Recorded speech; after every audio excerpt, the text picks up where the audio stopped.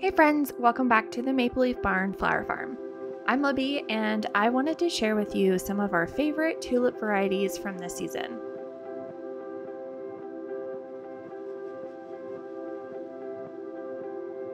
As you consider what tulip varieties to pre-order for this fall, this might help you get a better understanding and a picture of what these varieties look like and how they did for us in Zone 6A, just north of Cincinnati, Ohio.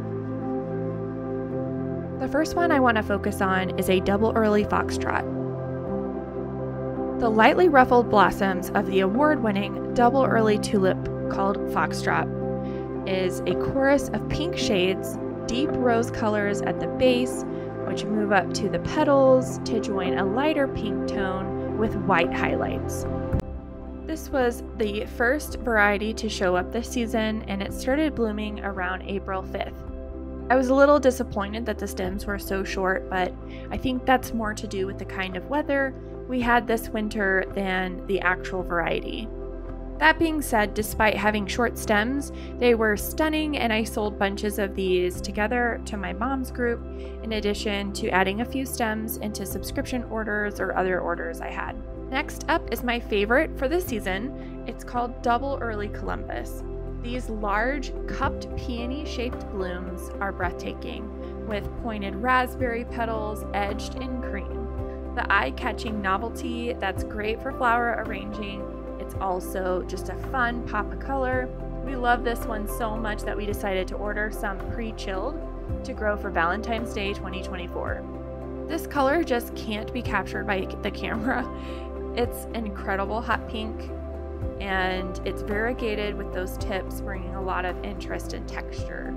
It's a double tulip, so it ends up looking very close to a peony once it's fully opened. Our clients love these and they will be coming back for our subscriptions next year.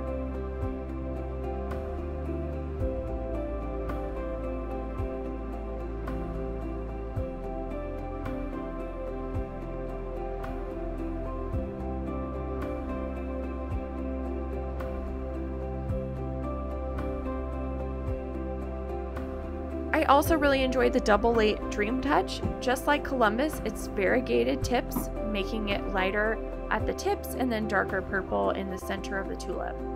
It's a double tulip and it opens up beautifully like a peony.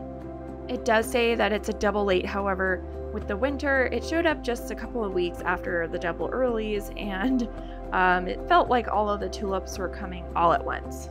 I'm really happy with the varieties that I chose for 2023 because they are interchangeable and able to combine with other colors and textures very well. Some of the bouquets had more pinks and others had more of the darker colors, which we'll talk about in a minute. They all go well together, and that just proves how important it is to me for next year and the following years to have a cohesive color combo when purchasing.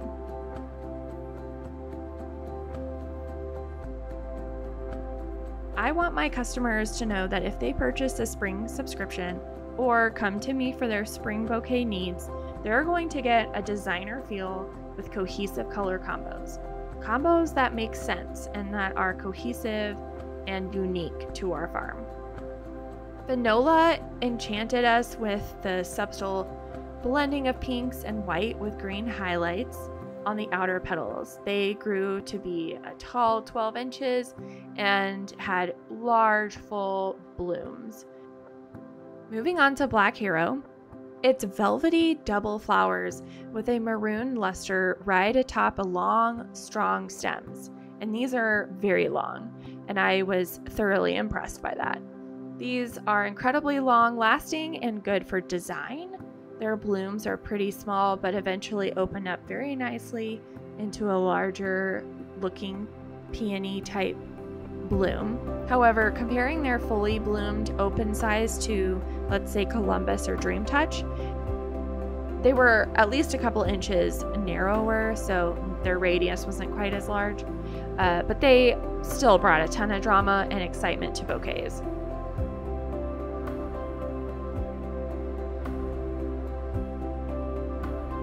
Finally, the black parrot, one of the more petite flowered parrot varieties with a striking maroon eggplant coloring. Uh, the narrow petals with deeply serrated edges have this refined quality and it brings a ton of drama and more texture to the bouquet.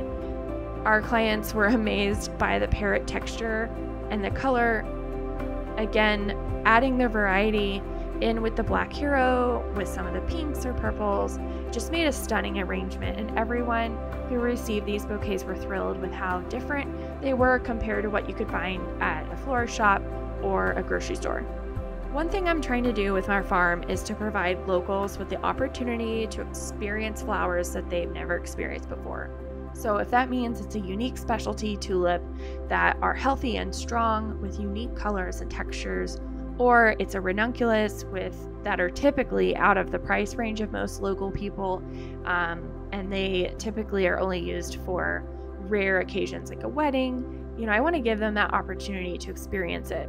I like the idea of being able to share those experiences with specialty flowers with people at a better price range with longer lasting flowers since they're locally grown as opposed to being flown in from a different country or a different part of the United States where it costs more per stem and the stems don't last as long. Hopefully, sharing these varieties with you gives some inspiration for the next tulip season or answers a few questions you had on colors or height. I'd love to hear in the comments if you plan on adding these varieties to your pre orders for the 2024 season. Thanks for watching. We'll see you in the next video.